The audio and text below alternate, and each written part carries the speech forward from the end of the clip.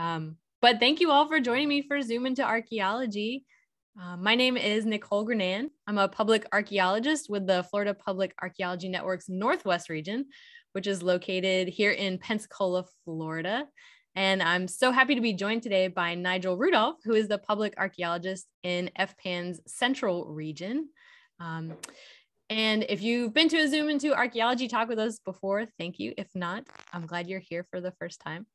Um, what we're going to do today, since it's going to be a fairly small group, we're going to record this so that we can put it on our YouTube channel for people who weren't able to join us today so that they can watch the, the documentary and then maybe get a little inside information from Nigel about, about the project at the end. Um, and, you know, with Zoom talks, we'll just keep our microphones off while the documentary running. That way we cut down on background noise. And if anyone has any questions or has a point for discussion that they want to bring up at the end of the presentation, um, you know, you can feel free to put that in the chat box while the documentary is playing. Um, so Nigel, if it's okay with you, I'll let you introduce yourself a little bit and maybe how this project got started. Sure. Hi, Sarah and Shelby. Good to meet, see everybody, uh, see all two of you. Um, so this project kind of was accumulation of several years of working with communities in Archer, Florida, which if you're not familiar with uh, Archer, it's just about 20 minutes west of Gainesville, um, sort of between uh, Gainesville and Rosewood. Um, you're familiar with the Rosewood massacre. Um, and Archer is a little railroad town that is very similar to Gainesville. Um, it was very similar to Gainesville. It was a stop on David Levy Yulee's um, railroad going from Cedar Key to Fernandina Beach.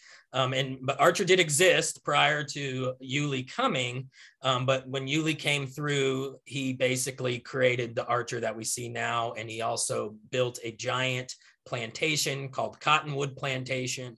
Um, and so many of the enslaved people that were working in the cottonwood plantation, as well as plantations uh, around Archer and closer into Gainesville that were run by the Haile family, if you're familiar with the historic Haile homestead, which is amazing. Um, uh, there was a lot of plantations in that area. And in turn, there was a lot of enslaved people in that area. Um, and so what happened after emancipation is a lot of those enslaved people stayed um, they stayed and they built a community, a viable community in the area, and they st- they needed burials. Um, the first burial of uh, at the Bethlehem Methodist Episcopal Cemetery that we feature at the end of the um, at the end of the documentary was 1879. Um, but we do believe that people were getting buried in that area well before emancipation, that the slaves were bringing their deceased um, and to be buried in that area. It's still relatively rural area. Um, I've been working with that cemetery for about three years, four years now, actually working with them on on uh, doing a lot of restoration work. We have we've been working with the University of Florida Historic Preservation Department, um, and just really doing some really amazing stuff. Um, now, the other cemetery that's sort of the prime cemetery that's being featured in the documentary is called St. Peter Cemetery, and that's on the north side of Archer, which is real actually an unincorporated Archer. Um, so it's technically not in the city of Archer. I started working with that community. The um, it's called the uh, St. Peter St. Paul Community Council, which was a bit of a, a church-based activist group that was put together um, to help stop a development of a large-scale um, solar power plant that was coming in that was going to disturb the cemetery and the community.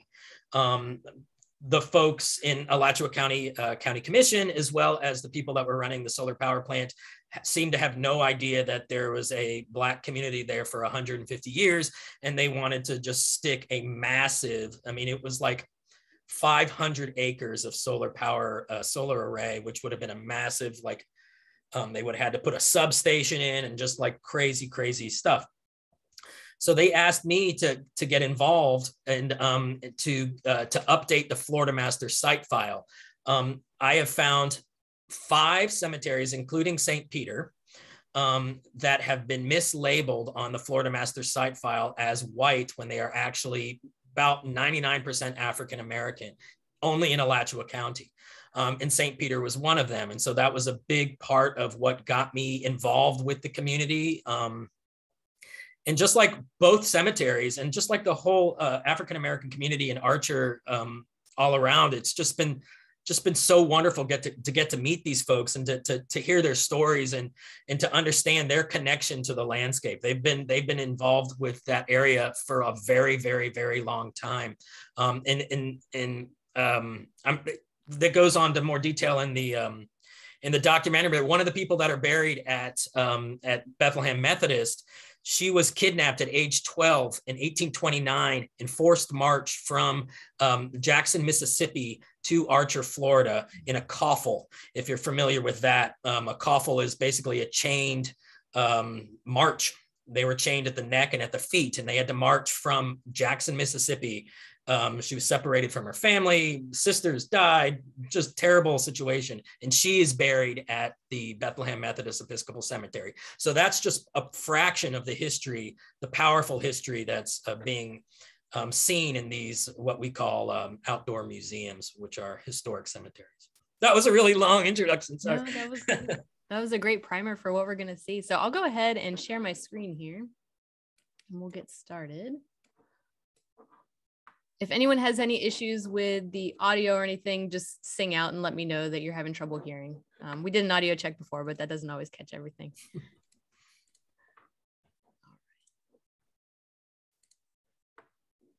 so you should see the black screen.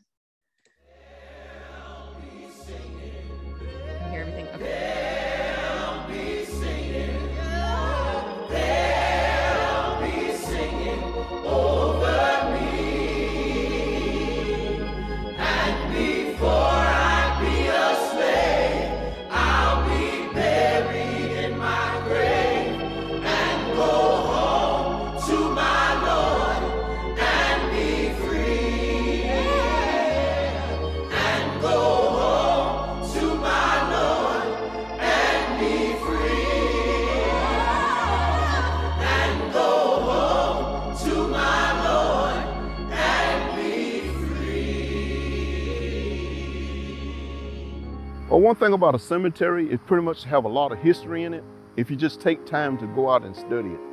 Um, because the headstone says a lot. And if you want to find out about a person, you have an idea, putting a headstone up, it can tell you a lot about your family history, as well as the history of the community. It says a lot, and, and it tells you the history of the, of the, the way you maintain a place, it tell you the history of that community by the appearance of it. This is a, um, a place where when you're living, you have a voice. But once you're dead, you don't have a voice. And if you love a person the way you say you love them, once they're dead, you also love them. And, the way to show that you love them is maintaining your burial plots because it's very important to maintain it because if you don't do it, no one else is. What's going on here today is we have, the state have come in and helped help preserve headstones that has been left unattended by family members down through the years. My personal connection is um, this is all I know. I was born in this area, right down the road from here, in fact. And my father attended this church. My mother attended Pinesville. And so once they married, then she became a part of this church. So this neighborhood has been in my life all the days of my life. And uh, my parents are buried here, my grandparents are buried here, and I have a great grandfather that was buried here. And uncles and aunts. I have an uncle that was in World War One. Um, so this is home. Everything is sacred. If you would take a broader look into something, uh, it may not be to this person, but it is to someone. And so I think they need to take that under consideration by educating the community and the families that are you know, what you have is important.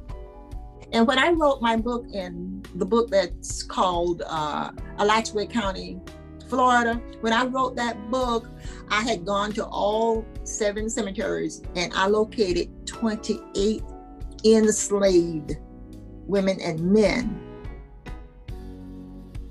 Mr. Thomas Rawlings was born, I'm thinking, I believe, in 1884. And from 1884 to 1865, I was able to locate 28 Black uh, pioneers. St. Joseph is the oldest community in Alachua County, the oldest. And of course, they were brought to Archer also by slave masters. It is all rooted in enslavement. However, when we buried our people, we buried them in the same cemetery. Most of these cemeteries were originated at a church. Okay, in Pinesville, I, I am responsible for that sign, that road sign that says Pinesville, because after I done my research and presented it to Bill Power, then people got interested. Where is Pinesville? They had never heard of Pinesville. And when I did my research at Pinesville, that was my second site I researched because when I was in high school, they closed the school in Pinesville. And the children from that area, from the St. Peter Pinesville area, migrated three or four miles to Archer High School, Archer Negro Public School, where I attended. And I knew if the kids came from there, I knew there must have been a church there. And it was. In this cemetery, I have my great grandmother and grandfather, both sides of my family. My mother and my father is buried here. Have a lot of aunts and uncles and, and, and cousins that are, here now. And so, and maybe, hopefully one day this will be my final resting place as well. This site is, is the home of some, most, some of the most amazing people that I will probably ever meet in my lifetime. Uh, these people names were never up in neon lights, but they don't have to be up in neon lights to be amazing people. These are the people here that has taught us great work ethics. I know you probably heard that saying that can make a dollar out of 15 cents. These are the people right here that coined that phrase. They took what they had and they made it work. And, and they taught us how to work. They taught us how to love one another and they taught us the sense of what real community is supposed to be. And so it is very special to me because I can always come out here and, and reminisce and share memories as I was just a few minutes ago, sharing some memories of some of the people that are out here. And, and that's what makes this place a very, very special place to me. I think one of the biggest threats outside of big business is people who are sitting in places and high places and seats that has no real sense of what this community means to us, what it's all about, and they they are making decisions that shapes us, but doesn't know anything about this community. You, you cannot get the sense of a community by just taking a drive through a few minutes and determining, oh, well, these people here are not close people, they're not, which is absolutely false. And I think that's the part of the problem is big business now is coming into areas that once was never attracted to them. Now it's very attractive because they're running out of space in other places. And so they come in with big ideas and, and, and flashing a few dollars. And, and people who are sitting in places to make those decisions are making decisions that affects us and it has nothing to do with them. They don't live in this community, they know anything about the community. And so I think that's one of the biggest threats that we face here keep up with the changing laws so you'll know what's in effect and what's not in effect. And the most part about it is get involved, get it out there, let people know where these places are and what you are doing to preserve them. Our family history is buried here. My grandmother, grandfather, uh, my dad, I have sisters, my mom. So this has been our family cemetery since I can remember.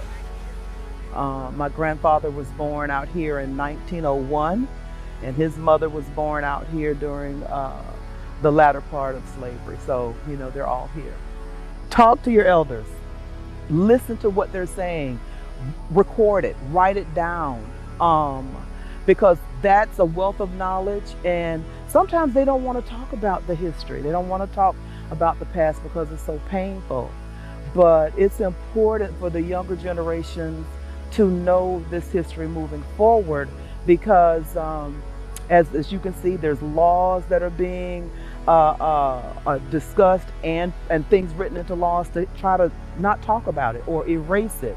So it's like you move forward in one respect and then you move backwards in another.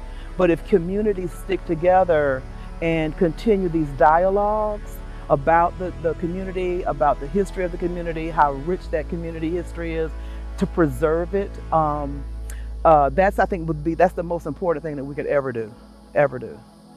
My personal connection to this sacred place is my elders, my mom, my dad, my granddaddy, his daddy, his mom, and it goes way back.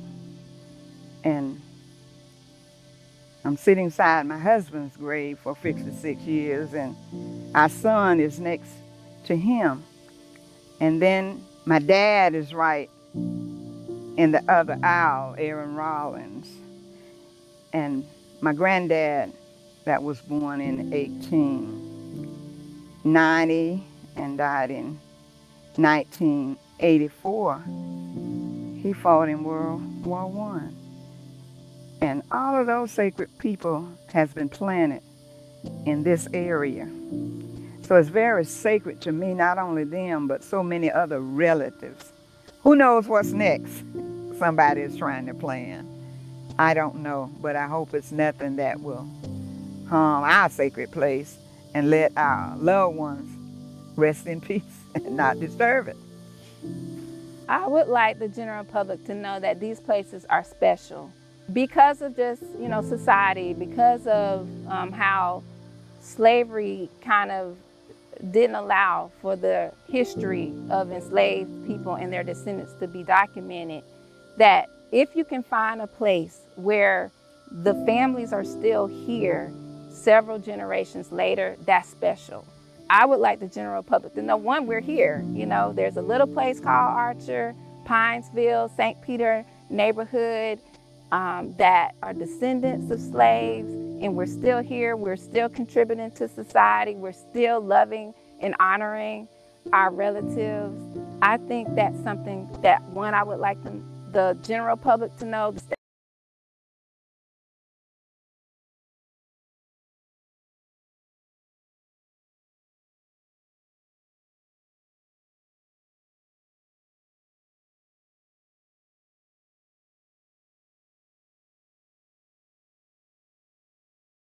Events because it's good to reflect on where we came from and also to help.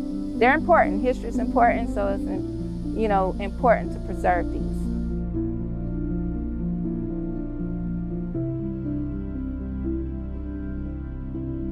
I would say because all I ever known was this cemetery. This is my home. I live in the back, back in the back of the cemetery here. And this is my home, and this is where all my family is funeralized. So I would say this special touch to me. I love it. I enjoy coming out in the cemetery and looking and try to help keep it up.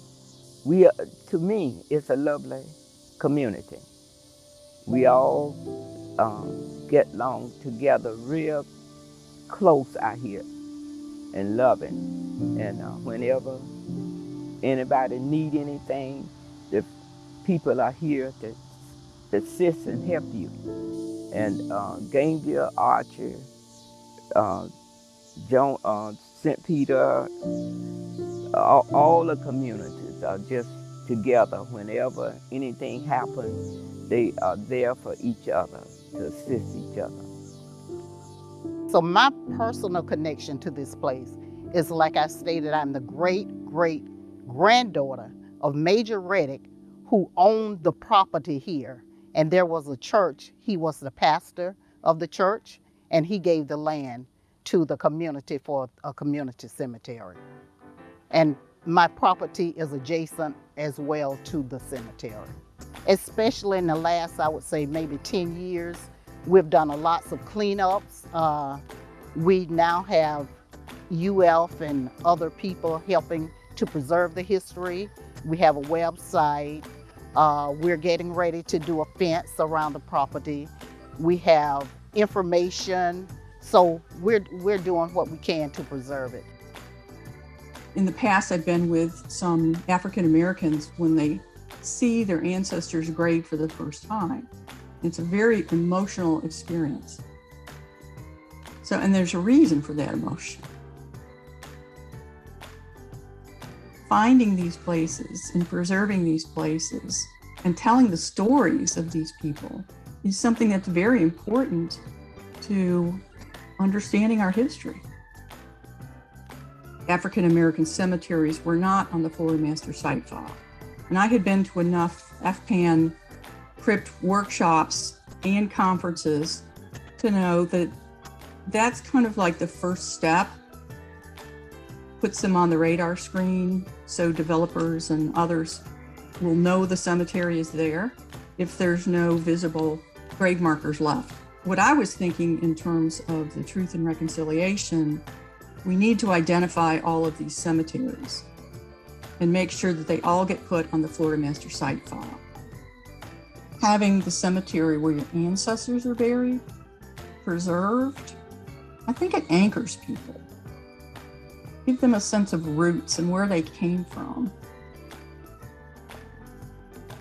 First of all, I'd like to say that my sister, uh, Clyde Williams, who is the founder of the BMECRO, she recently passed, of course, uh, started the maintenance on the cemetery.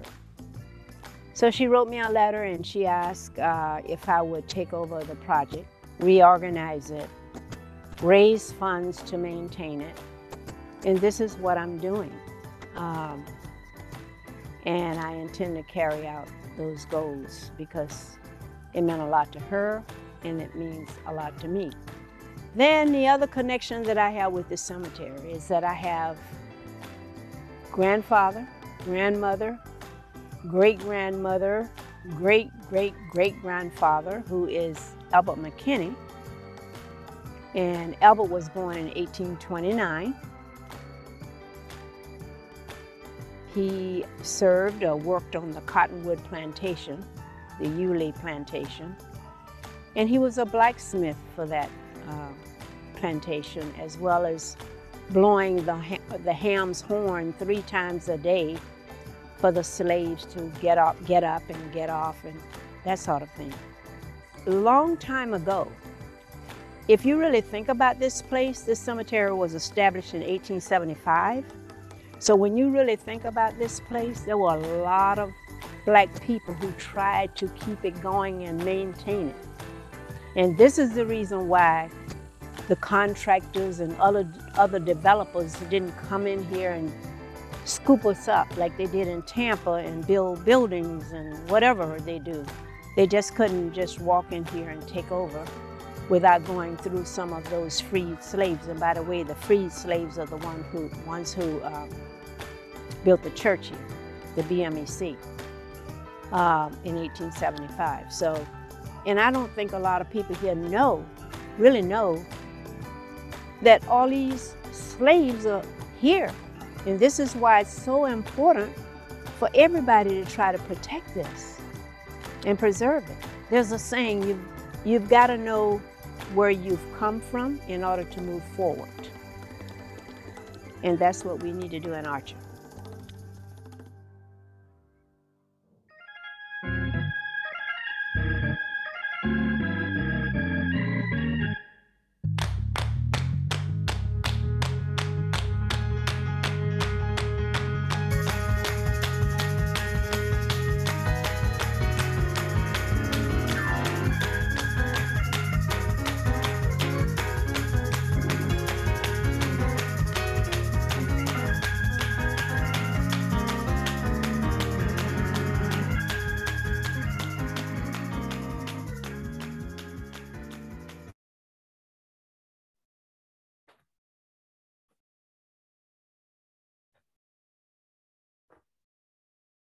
You're on mute.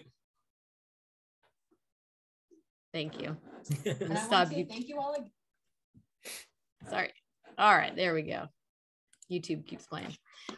Well, thank you for for watching that with us. I it blinked out at one point. I'm sorry. I think my computer had got a notification and then it moved it to a different desktop. So hopefully it wasn't too much of an interruption. Unbelievable. Awesome.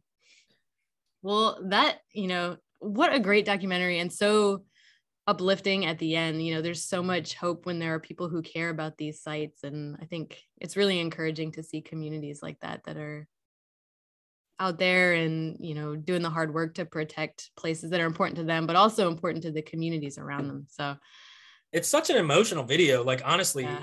when those two o- older women at the beginning in, in, in St. Peter Cemetery, like I get literally teared up every time. I've and I've seen this documentary a thousand times, and it's just so beautiful um, because that it just like how you keep up cemeteries um, um, is a reflection of how you feel about the people that were buried there. Like their their passion and emotion for um, even just talking about their ancestors is just so powerful and it- it's so moving to me. Um, and yeah, I mean, literally, this work has been the most fulfilling work I've ever done in my career. Um, I, I absolutely love it. I absolutely love the work and love the community. it seems like they really appreciate all the everything that everyone's contributed, not just, you know, you all, but everyone else who's been a part of this project. Oh, it's yeah, it's it's been a it's been a huge huge gathering, and it's still going on. It's not like this this um documentary was sort of the pinnacle of it. Like as I was saying earlier, Nicole, this documentary is sort of a mini version of one that we want to produce in the future.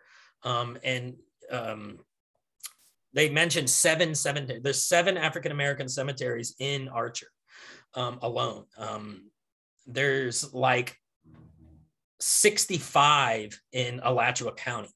Um, and so we're really trying to expand this and, and bring attention to it. And people are writing grants and, you know, it's just, it's really, it's a huge community building thing. Um, and it's very powerful to see and people stand behind it. Even coming from a, an archaeologist, you know, when like I, when you're thinking about material culture, thinking about those headstones, like what, what do those mean and how do they impact people? Well, what I always talk about is that's the last vestige of, of the individuals. That's it. That's all they have left besides memories. And so it's really important to maintain those spaces. Yeah. Yeah, I couldn't agree more. And I- I've come up with a couple of kind of softball questions for you, Nigel, but So, I don't know if anybody else, you know, has anything they want to say or any discussion points you want to bring up, Nigel, that, you know, reflecting on it. I'm, I'm happy to ask these. I'm thinking kind of of the people who aren't here, who may not know much about the topic or FPAN or work that you've done. So go for it. there's anything else we want to talk about first, we, we can absolutely do that. Anybody have any questions? Yeah, Sarah. Um, so I thought, uh, like in the video, um, Michelle spoke really powerfully about trying to raise awareness from the general public uh, about these cemeteries. So I was wondering what strategies you have been incorporating that maybe weren't featured in the video, or how, um, yeah, how you would approach this for all. Did you say 65 cemeteries in Alachua County? Yeah, yeah, something Yeah. like that. Um, Michelle Rutledge is phenomenal. Um, I met her when, uh, in reference to that that solar power plant.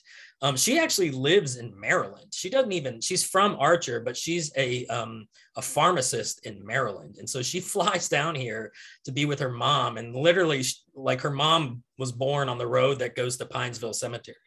Um, but right now, she is uh, both both cemeteries are working on getting historical signage. Um, and, and Karen Kirkman, the historian at Historic Haile Homestead, who spoke in the documentary, who's a very close friend of mine. Um, she's working on the wording um, on those of those historical signage, so that's going into place.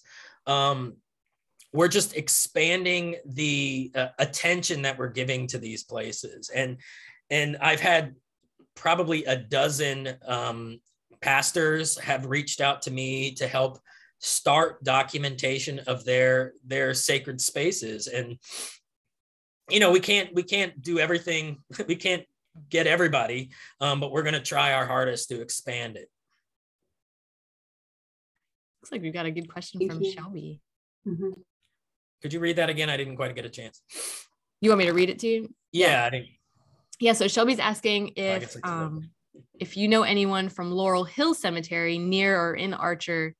Um, she had emails with Joyce Lewandowski. I hopefully I said that right. Um, in 2018, and referred her to FPAN and the Alachua County Historical Commission. Um, I don't. Um, Laurel Hill, I believe, is right down the street from um, Bethlehem Methodist Episcopal Cemetery. Um, so I, I have been there. Um, I there's so many I tend to get confused um, about where they're at, and because uh, the cemetery can tend to be, or the Archer is pretty rural um, in a lot of ways still. But no, I haven't. I haven't been contacted by them or anything. But I'm happy if you want to tell them to reach out again um, uh, I would be happy to to touch base with them and, and see what we can do to help preserve the space or you know do our best to you know document it. Um, that's the that's one of the biggest problems is is is preservation is one thing right? Preservation is one thing but documentation is the basic bare minimum that of, of uh, something we can offer. Um, and um, and help them help them do that to document those on the Florida master site file.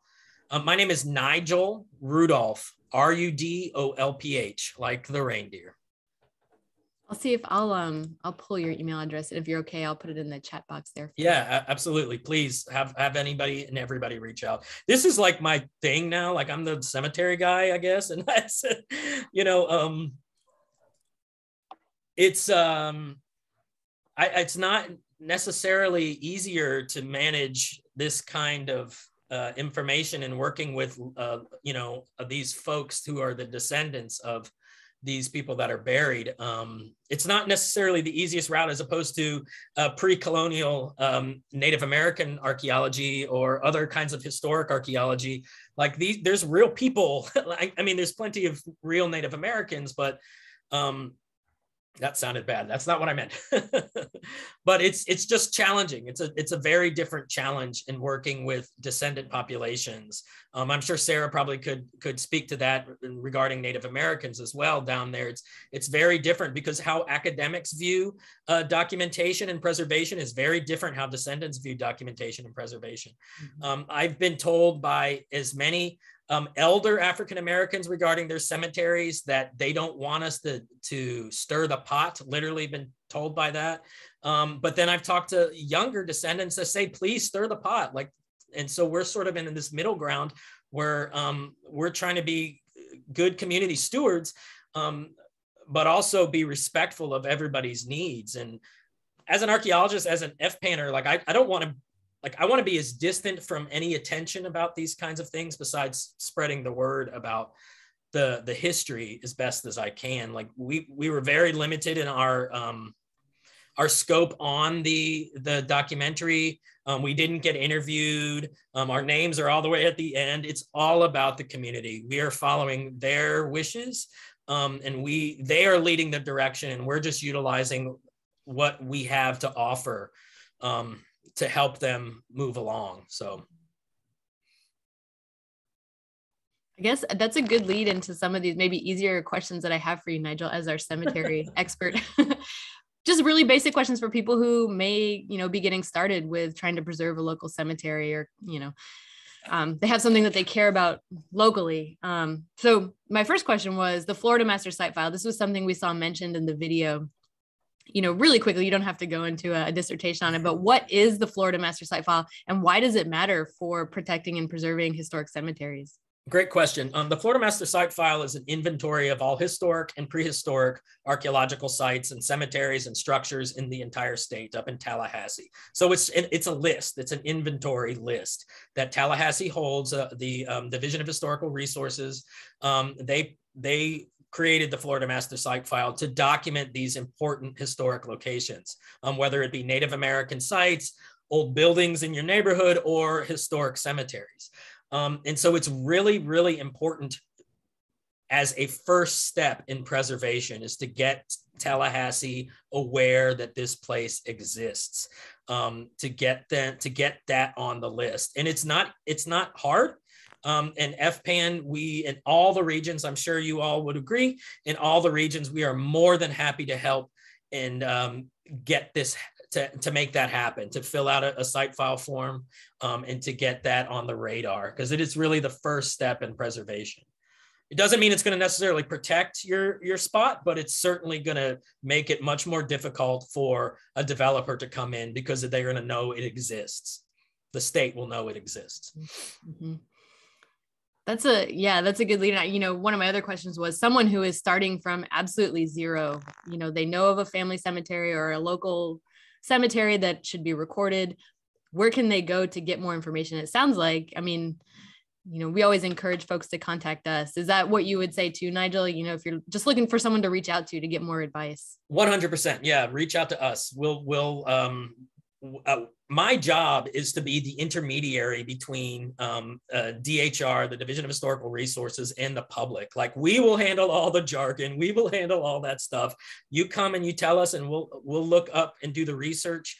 Um, and that's the great place to start. You can also contact DHR. They're not like crazy uh, Tallahassee bureaucrats. They're really normal, wonderful people, and you can literally call them on the phone um, and and speak to somebody there, and they can help you as well. Um, but yeah, shoot me an email, anybody, and I'm more than happy to help. Mm-hmm.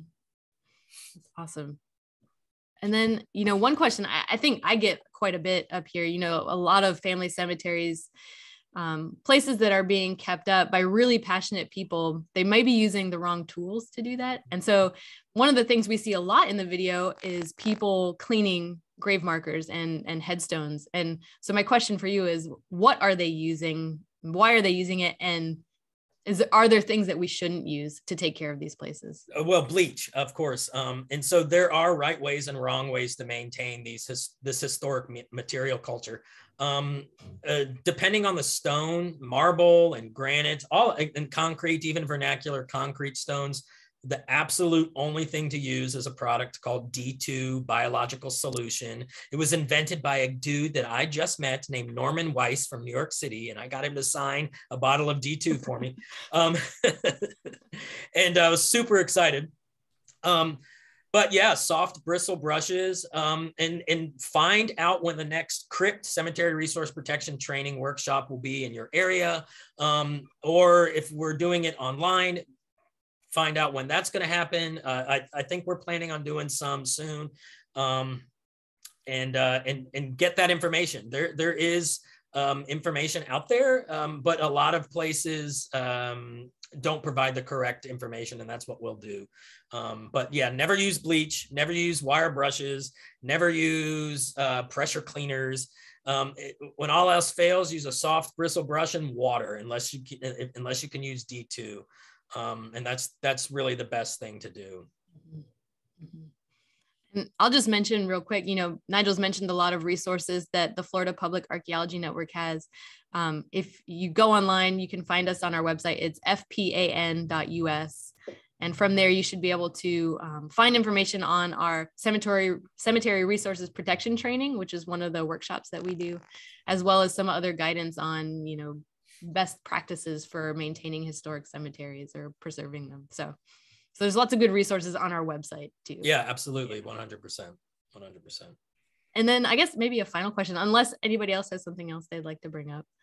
Um, maybe another fairly easy question for you. Are there any current organized efforts, not not necessarily grassroots, but at the higher level? Because you mentioned the Florida Master Site File and the Division of Historical Resources. Are there other efforts to get these places documented? Because, you know, people can be passionate and interested, but it takes time to do this kind of thing. So is there any help, you know, out there? Yes. So there, uh, the governor, our illustrious governor, um, signed into a law, I guess, a, a, a, a task force um, and it was the African American Cemetery Task Force that went into play uh, six months ago or so. Um, and they are looking at solutions on how to better document and um, protect these historic locations. So there is like official recognition, not grassroots only. Um, and they are winding up their um, initial look at the situation. Um, and uh, yeah, I think there's a meeting coming up just after the holiday. I don't have the specific information about the meeting, but it, it's all online uh, and available public for the public to view. Um, but there is official um, an official task force looking at this issue. Um, and it's not saying that that white cemeteries aren't threatened and that um, all cemeteries of all ethnicities aren't something that are threatened, but uh, African American cemeteries are particularly threatened because of the history of um, segregation and enslavement and the lack of uh, attention given to these communities in the history of the state. So um, they are particularly threatened and they, it demands particular attention. And that's what they're finally doing. This has been a task force that has been, this is kind of the latest, uh, latest facet of many, many different um, attempts at this. And it looks like they got their, their feet under them and they're, they're making some headway with this uh, really important subject. That was a really another Nigel long ass answer to a really simple question. no, it's good. It's important. It's information that I don't think a lot of people who aren't kind of in the circle of preservation or cemetery work maybe maybe don't know about it quite as much. But it's really important stuff that's happening at the state level. Yes, absolutely. Yeah. Um, any other questions or comments or anything anyone else would like to discuss? Happy to field some of those. If not, I put a Oh yeah, Shelby, in, go ahead. I put a comment in the chat about um, asking Nigel if the next year's um, National AGS conference, they are going to have a virtual element. And I think exposing that um, video that you just showed and sharing it so that people across not only our nation, but last year there in 2021, there were people from all over the world attending that virtual conference. And, you know, perhaps it's an opportunity for someone to see it and say, I hadn't thought about doing that for my community. And the more we make that happen, the more aware people become. I totally agree. I'm happy to help out um, uh, with that. And I'd be happy to, to do something similar to what we've done here um, for that conference. Uh, yeah, please send me all the information. I will. I'll make sure you're on the list. Thank you